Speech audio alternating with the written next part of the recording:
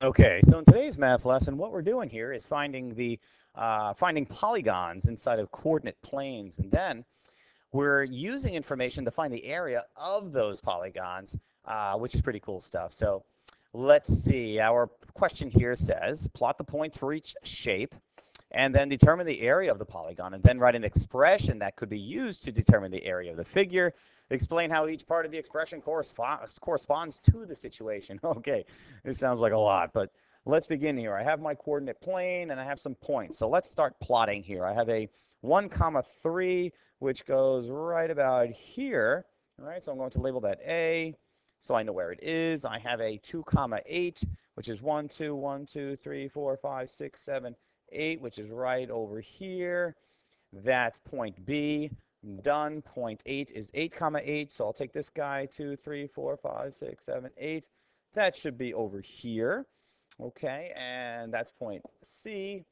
I'm done with that. I need a 10 comma 3. 1, 2, 3, 4, 5, 6, 7, 8, 9, 10. That goes right to the end. 1, 2, and 3.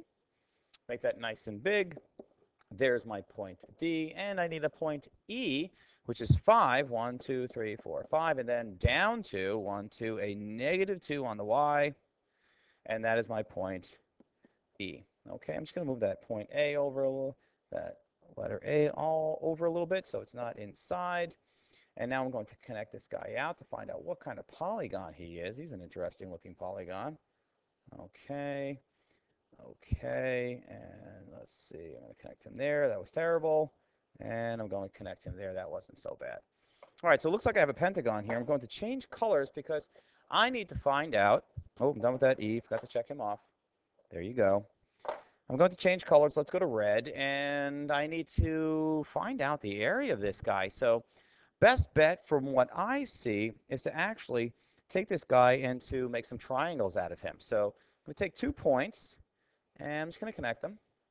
I can make a triangle there and we're going to go straight going to go straight across and now I have some nice triangles. I'm going to label them. How about triangle A, triangle B, and triangle C? Now this is the best way to find area of something that has a strange shape like this. Just break it up into parts, uh, hoping that those parts are things that you can find the area of. Now fortunately we're on a grid so I can find some distances here. All right, so I'm going to start setting things up. I have triangles, so my triangle is base times height, one half of that. Okay, there's one of them. And I'll put B down here for triangle B, same thing.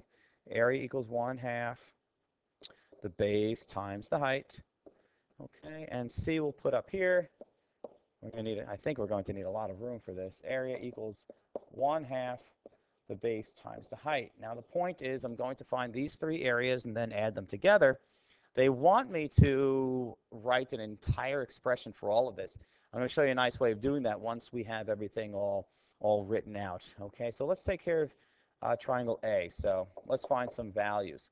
I need a base and a height of A, of triangle A. Now, let's see. Let me go to blue here. It looks like my base of my triangle is this guy here, which is 1, 2, 3, 4, 5, 6. So it's 6 units long.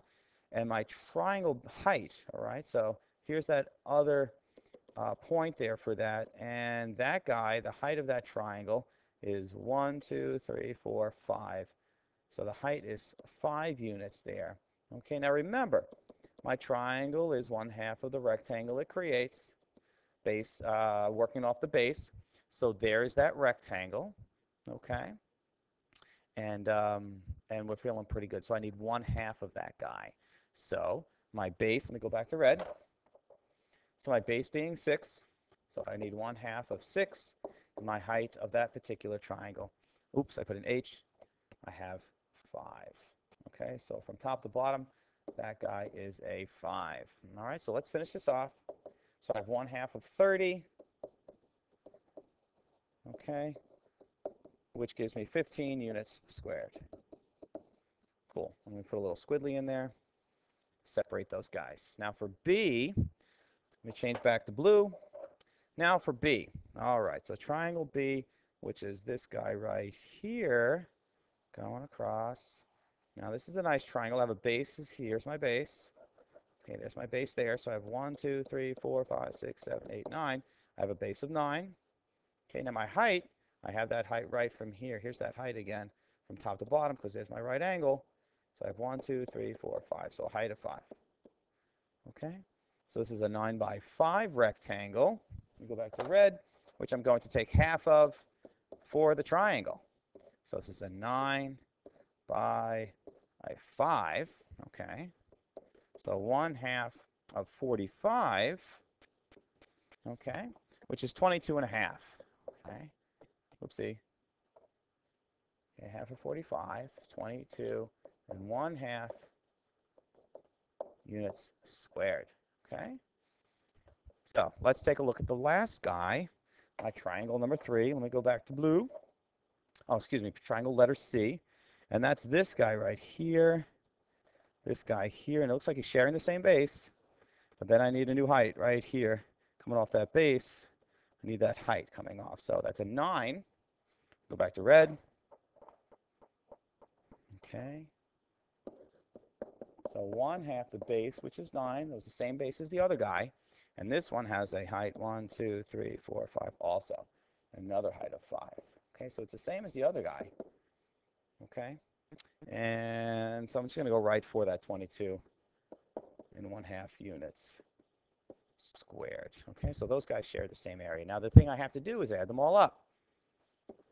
So my total area, okay, I have a 22 and 1 half. I have another 22 and 1 half. And then the other guy was a 15.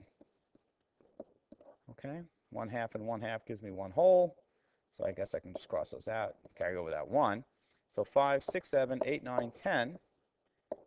Carry over. That's 4, 5, and 6. So 60 units squared for my for my total uh, for my total area, which is pretty cool. Now they did want an expression for this to add, to uh, to show all of this. Now what's cool about this, my expression.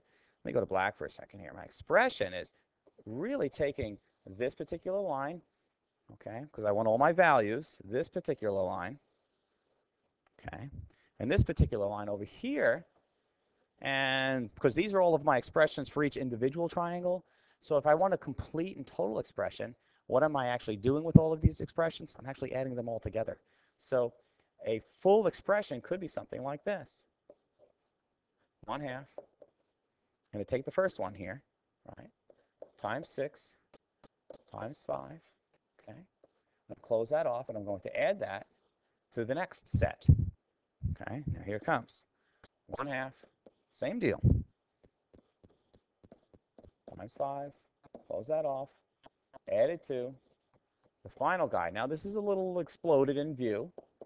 Uh, I can simplify this out a little bit, but I'm just going to write it pure as is to show that, that is my full expression to arrive at the at the uh, at the total area of this particular shape. All right. Yeah, break it up into parts and uh, find each part, put them all together, and you are good to go. All right. Thanks so much, everyone. Take care. Bye bye.